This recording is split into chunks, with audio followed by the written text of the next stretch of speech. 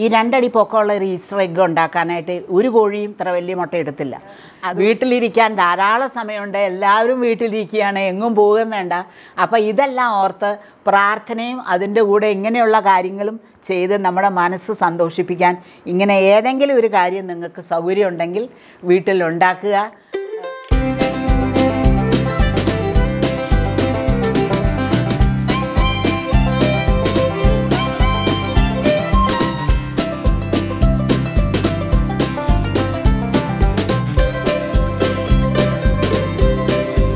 താല്പര്യമുള്ളവർക്ക് ഈസ്റ്റർ എഗ്ഗും പലതരത്തിലുള്ള കാര്യങ്ങളും വീട്ടിൽ തന്നെ ക്രാഫ്റ്റ് പോലെ ഉണ്ടാക്കാവുന്നേ ഉള്ളൂ. ഇപ്പോൾ ഈ ഒരു ഈസ്റ്റർ എഗ്ഗ് രണ്ടടി പൊക്കമുള്ളതാണ് ഈ രണ്ടടി പൊക്കമുള്ള ഒരു ഈസ്റ്റർ എഗ്ഗ് ഉണ്ടാക്കാനായിട്ട് ഒരു കോഴിയും ഇത്ര വലിയ മുട്ട എടുത്തില്ല. അതുകൊണ്ട് നമുക്ക് ഒരു ബലൂണിന്റെ സഹായം വേണം. ബലൂൺ ഊതി വീർപ്പിച്ച് മാക്സിമത്തിൽ വലുതാക്കി കഴിഞ്ഞിട്ട് ആ ബലൂൺ ചൊങ്ങുന്നതിന് മുമ്പ് അതിന്റെ പുറത്ത് ഒരു ലെയർ നനച്ച പേപ്പർ ഒട്ടിക്കുക. ആ നനഞ്ഞ പേപ്പർ ഒട്ടി ഉണങ്ങുന്നതിന് മുമ്പ് തന്നെ അതിന്റെ പുറത്ത് പശ തേച്ചിട്ട് രണ്ടാമത്തെ ഒരു ലെയർ പേപ്പർ പതിക്കുക. ചെറിയ കഷ്ണങ്ങളാക്കി വേണം പതിക്കാൻ. അങ്ങനെ ആദ്യത്തെ പേപ്പർ ആ നനവ് മാറിക്കഴിയുമ്പോൾ വിടാൻ തുടങ്ങും. അതിന് മുമ്പേ രണ്ടാമത്തെ ലെയറും അതിന്റെ ശേഷം പശ വെച്ച് വീണ്ടും മൂന്നാമത്തെ ലെയർ മിനിമം മൂന്ന് ലെയറെങ്കിലും വെച്ച് കഴിയുമ്പം ഒരു ഷേപ്പാകും അത് ഓരോ ലെയറും ഉണങ്ങിക്കഴിയുമ്പോഴും രണ്ടും മൂന്നും ലെയർ ചെറിയ കഷ്ണങ്ങളാക്കി മുറിച്ച കടലാസുകൾ സൂപ്പർ ഇമ്പോസ് ചെയ്ത് നല്ലതായിട്ട് ഉണങ്ങി തീരുന്നത് വരെ അത് സൂക്ഷിച്ചു വെക്കണം. അത് കഴിഞ്ഞാൽ നല്ലപോലെ ഉണങ്ങിയെന്ന് ബോധ്യമായി കഴിഞ്ഞാൽ ഇതിന്റെ പുറത്ത് നമുക്ക് പെയിന്റ് ചെയ്യുകയോ കടലാസ് പതിക്കുകയോ പൂക്കൾ ഒട്ടിക്കുകയോ നമ്മുടെ മനോധർമ്മം അനുസരിച്ച് നമുക്ക് ഇത് ഭംഗിയാക്കി എടുക്കാം. ട്രാഷ് ടു ട്രഷർ നമ്മൾ വീടിനകത്ത് ആവശ്യമില്ലാതെ മാറ്റി വെക്കുന്ന ചില കാര്യങ്ങളെ കൊണ്ടാണ് ഇതുണ്ടാക്കുന്നത്. ഇപ്പം നേരത്തെ കണ്ട ആ എഗ്ഗിന്റെ ഡബിൾ സൈസ് ഉണ്ട് ഇത്. ഇത് എഗ്ഗിന്റെ ഷേപ്പ് ഉണ്ടെന്നേ ഉള്ളൂ. ശരിക്കും ഒരു പഴയ കഷായം കലം തന്നെയാണിത്. പാക്കിംഗ് മെറ്റീരിയലായിട്ട് വരുന്ന തെർമോക്കോളാണ് ഇതിന് ഓരോന്നും ഡെക്കറേഷൻസ് ആയിട്ട് വെച്ചിരിക്കുന്നത്. ഇതിന്റെ ഓരോ ഡെക്കറേഷൻ നോക്കിയാലും ഓരോന്നിനും ഒരു മുട്ടയുടെ ഷേപ്പുണ്ട് പൊട്ടുന്ന കലമായതുകൊണ്ട് സൂക്ഷിച്ചെടുക്കണം. അത്രയേ ഉള്ളൂ ഇതിന്റെ കാര്യം. വെറും തൊണ്ട് ഇതേപോലെയുള്ള തൊണ്ട് എടുത്ത് വെയിലത്ത് വെക്കണം. നല്ലപോലെ ഉണങ്ങിയെന്ന് ഉറപ്പായതിന് ശേഷം അതെല്ലാം റെഡിയാക്കി നമ്മൾ മനസ്സിൽ ഉദ്ദേശിക്കുന്ന പെയിന്റുകൾ ഓരോന്ന് പല കളറിലുള്ള പെയിന്റ് പെയിന്റ് ചെയ്തിട്ട് ഇതിൽ ഒന്നുകൂടെ ഭംഗി പിടിപ്പിങ്ങനെ ഇതുപോലെ കടലാസ് പൂക്കൾ പതിച്ചോ അല്ലെങ്കിൽ വെറുതെ ഈ ബീഡ്സ് പതിച്ചോ അല്ലെങ്കിൽ ഗ്ലിറ്റർ പതിച്ചോ പച്ച നീല മാക്സിമം കളർ ഉപയോഗിച്ച് ഇതുപോലെ സൂക്ഷിച്ച് വെക്കുക. ഇപ്പോൾ ഈ ഷേപ്പിലുള്ള ഒരു ഡിഷ് ഉണ്ടായിരുന്നുകൊണ്ട് അതിൽ തന്നെ പുല്ല് അതൊക്കെ വെച്ചിട്ട് പൊട്ടാതിരിക്കാനായിട്ട് സപ്പോർട്ട് കൊടുത്ത് ഈ പൂക്കളൊക്കെ വെച്ച് ഭംഗിയാക്കി സെറ്റ് ചെയ്തിരിക്കുന്നതാണ് ഈ ട്രേ ഇത് ശരിയായിട്ടുള്ള എഗ് ഷെൽ കൊണ്ടുണ്ടാക്കിയതാണ് ഇതെല്ലാം വെറും വെള്ള മുട്ടയിൽ തന്നെ പെയിന്റ് ചെയ്യാതെ നേരിട്ട് ഇതിൽ ചെയ്യുന്നതാണ് ഓരോ മുട്ടയും നമ്മൾ എടുത്തു കഴിയുമ്പം അതിന്റെ കൂർത്ത വശം വേണം പൊട്ടിക്കാൻ. അത് പൊട്ടിച്ച് കഴിഞ്ഞ് നല്ലപോലെ കുലുക്കി കഴുകി ചൂടുവെള്ളത്തിലിട്ട് കഴുകി സ്വല്പം ഡെറ്റോളും കൂടി ഇട്ട് വെയിലത്ത് വെക്കണം. അതാവുമ്പോൾ അതിന്റെ മണവും എല്ലാം പോയി ഉറുമ്പും വരാതെ ദീർഘനാൾ സൂക്ഷിച്ചു വെക്കാവുന്ന മുട്ടകളാണ് ഇത് ഓരോന്നിനും ഓരോ തരത്തിലുള്ള ഡെക്കറേഷൻസ് കൊടുക്കാം. അപ്പോൾ ഇതിൽ റൗണ്ടായിട്ടുള്ള ഗ്ലിറ്ററാണ് ഒട്ടിച്ചിരിക്കുന്നത്. അത് ഒട്ടിച്ചു കഴിഞ്ഞാൽ ഇങ്ങനെ നേരെ വെച്ച് ഉണങ്ങി കഴിയുമ്പോഴേ മറ്റതുമായിട്ട് ഒട്ടാവും. അല്ലെങ്കിൽ ഒന്ന് വേറൊന്നിനോട് മിക്സ് ആകാതെ ഇതുപോലെ പല തരത്തിലുള്ള ഗ്ലിറ്റർ വാങ്ങിക്കാൻ കിട്ടും. ആ ഗ്ലിറ്റർ ഉപയോഗിച്ച് ഇത് ചെയ്യാം. ബീഡ്സ് ആണെങ്കിൽ ബീഡ്സ് വെച്ചിട്ടും ചെയ്യാം. ഒരു ബഞ്ച് ഓഫ് എഗ്സിന്റെ ഒരു ഡെക്കറേഷനാണ് വേണ്ടതെങ്കിൽ ഒരു കോലിന് ചുറ്റും ഒരു കമ്പി ചുറ്റി അതിനെ ട്വിഗ്സ് പോലെ ഇങ്ങനെ കപ്പ് പോലെ ആക്കി നിർത്തി നിർത്തിയിട്ട് അതൊരു ഫ്ലവർ വേസിനകത്ത് കുത്തി ഇറക്കണം.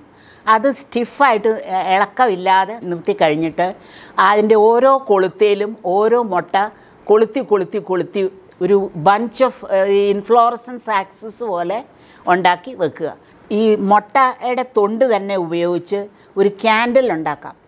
പല കളറിലുള്ള മെഴുക് ഉരുക്കി ഈ മുട്ടയുടെ ആ പൊട്ടിച്ച വശത്ത് ഒരു തിരി ഇറക്കി ഇതുപോലെ കളറുള്ള പിന്നെ വാക്സ് ഉരുക്കി ഉരുക്കി ഒന്ന് ഉറച്ച് സെറ്റ് ചെയ്ത് കഴിയുമ്പോൾ വേറൊരു കളർ ഓക്സ് വാക്സ് ഉരുക്കി ഒഴിച്ച് കംപ്ലീറ്റ് ആയിട്ട് മുട്ട നിറഞ്ഞു കഴിയുമ്പോൾ തണുത്ത് കഴിയുമ്പോൾ അതിന്റെ ആ തൊണ്ട് എടുത്ത് മാറ്റിക്കഴിഞ്ഞാൽ മുട്ടയുടെ ഷേപ്പിലുള്ള ഒരു ക്യാൻഡിൽ കിട്ടും.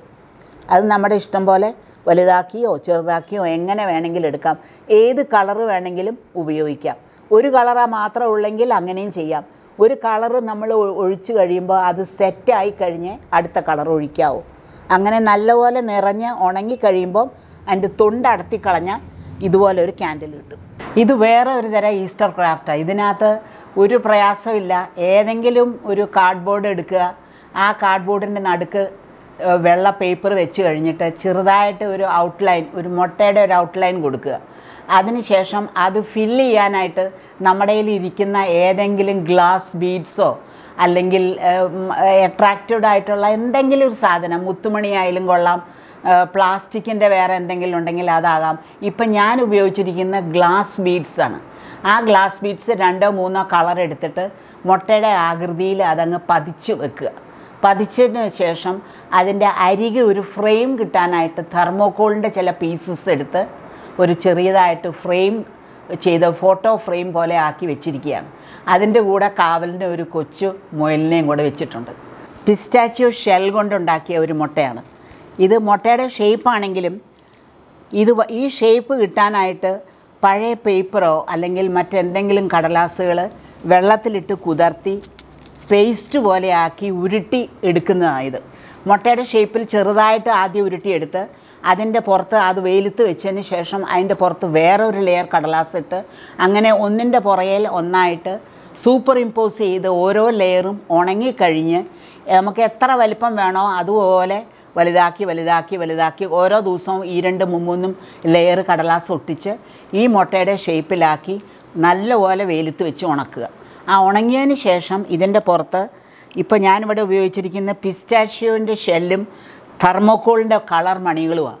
ഇത് ഏറ്റവും എളുപ്പത്തിൽ നമുക്ക് എല്ലാ വീടുകളിലും കിട്ടുന്ന സാധനം ഉപയോഗിച്ചിട്ട് ചെയ്തിട്ടുള്ള ഒരു ക്രാഫ്റ്റാണ്. പ്രധാനമായിട്ട് ഒരു ഭരണിയും കുറച്ച് കടലാസും മാത്രം മതി ഇതിനു വേണ്ടി.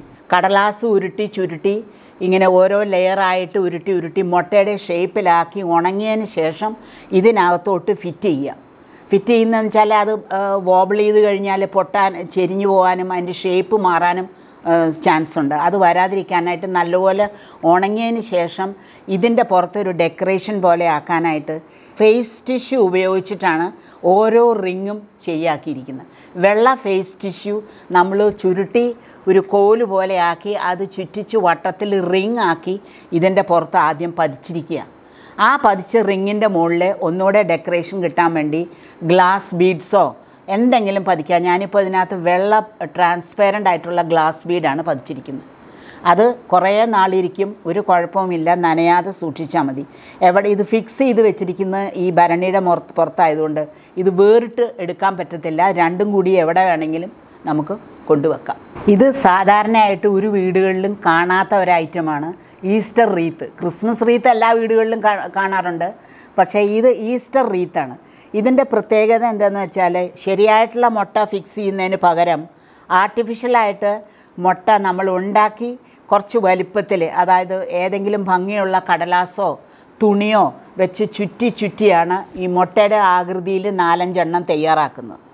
അത് തയ്യാറാക്കിയതിന് ശേഷം ഈ റീത്തിന്റെ ഒരു ഷേപ്പ് കിട്ടാനായിട്ട് ഏതെങ്കിലും ഒരു റബ്ബർ ട്യൂബ് നമ്മൾ ഗാർഡനിലൊക്കെ ഉപയോഗിച്ച് കളയുന്ന റബ്ബർ ട്യൂബ് ഒരു വട്ടത്തിലാക്കി കെട്ടി അതിന് ചുറ്റും പേപ്പറോ അല്ലെങ്കിൽ മറ്റെന്തെങ്കിലും നൂലോ വെച്ച് കെട്ടി ഷേപ്പ് കൊടുത്തതിന് ശേഷം ഇതിനെ ഡെക്കറേഷൻ പോലെ ഇതുപോലെ വാങ്ങിക്കാൻ കിട്ടും. അതല്ലെങ്കിൽ നമ്മുടെ വീട്ടിൽ കാണും ബാക്കി എന്തെങ്കിലും വന്നതിന്റെ അതെല്ലാം കൂടി ചേർത്ത് ഇതിലോട്ട് ഫിക്സ് ചെയ്യുകയാണ് ചെയ്യുന്നത്.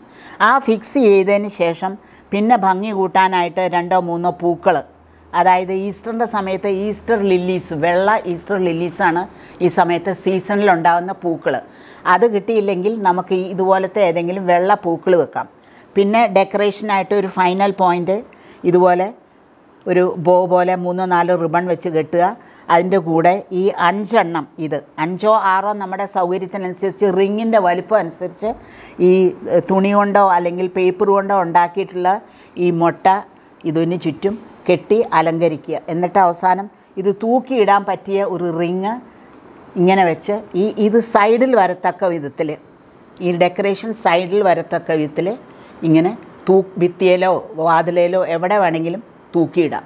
ഇതാണ് ഈസ്റ്റർ റീത്ത്. ഇനി വേറെ ഒരെണ്ണമുള്ളത് ഏറ്റവും എളുപ്പത്തിൽ ചെയ്യാവുന്നത് മുറ്റത്തുനിന്ന് ഏതെങ്കിലും ഒരു കൊമ്പ് ഭംഗിയായിട്ടുള്ള ഒരു ഷേപ്പുള്ള ഒരു കൊമ്പ് ഒടിച്ച് ഉണക്കി എടുക്കുക.